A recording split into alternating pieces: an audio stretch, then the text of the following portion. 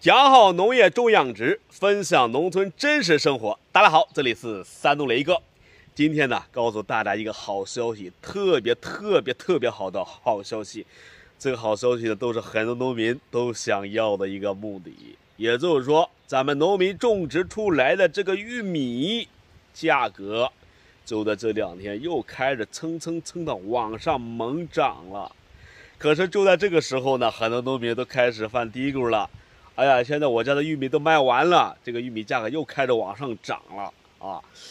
要知道，玉米不卖了不，放到现在那不多赚的钱吗？是不是，朋友们？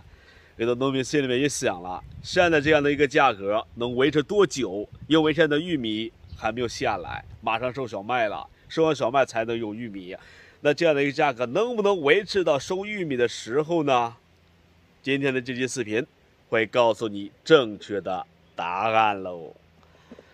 关于玉米这块呢，想和大家先分析一下前期的这个价格哈。在二零二二年，这个玉米价格，相信大家都非常清楚。最低的时候，那个时候是有一块二毛五左右，啊，一块二毛五左右。通过一块二毛五，基本上会涨价到一块三、一块三毛二啊。这个实际这个价格呢，维持了将近有半年的时间，是吧，朋友们？在二零二二年的时候。在二零二二年，也就是说将近有一个月的时间，那个时候的玉米的价格呢，可以说都最高的价格哈，都降价到一块三毛九，真的一块四都会有的。可是维持到现在的话，维持到现在的话，也是突高突低。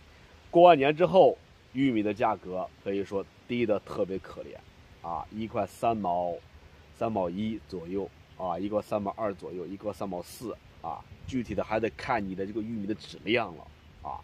话题又说回来了，就像视频开始那样说的，这样的一个高的一个价格啊，到底能维持多长时间？现在涨到什么价格了？有没有比你们的那边高了呢？在我今天回老家的时候呢，我们村子里边还有农民正在卖玉米，我都问他现在价格怎么样，他是说到了涨价了，涨价了，一块三毛八左右。有的最高价格都涨到了一块四毛二三左右，具体的还得看你玉米的颗粒大小，颗粒饱满、颗粒好的话，品质好的话，也就是说质量好的话，那你的价格有可能会达到一块四毛一左右，啊，工厂里边深加工啊一些企业，他们的收的价格一块四毛三、一块四毛五都会有的，你们那边什么价位呢？打到评论区和大伙们分享分享吧。关于这个价格能维持多长时间的，我带着这个话题来到了收购站的老板收购商呢，他这边呢，呃，不可能骗咱们，是不是？然后他这边也预算了一下，也就是说，在这个价格、这个价格的基础上，能维持多长时间？他这边说到了，基本上维持不了多长时间，有可能到二零二三年收玉米的时候，收玉米的时候，有可能会打回原形啊。啊，维持多长时间呢？也就是说，他这边收到顶多也都做一个多月左右。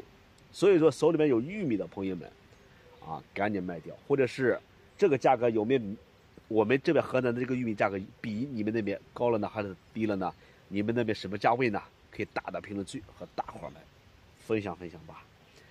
好了，今天视频呢就和大家简单的唠到这里了。关于这个玉米的价格呢，也就是说。以后的发展如何，还得看市场的动态，谁也管控不了，是吧，朋友们？就是这么回事儿。就看屏幕前的朋友您了。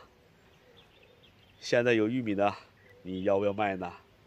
好了，今天视频就和大家分享到这里了，下个视频比这个更精彩，下期不见不散，拜拜。